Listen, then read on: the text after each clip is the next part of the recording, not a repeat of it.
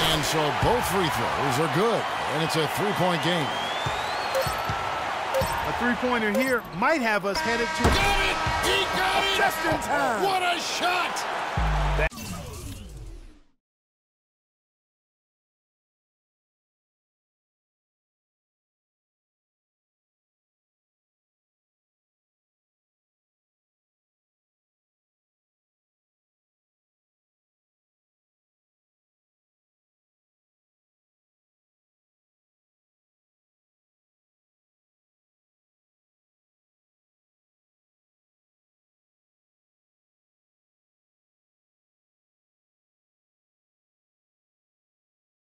An absolute prayer at the buzzer.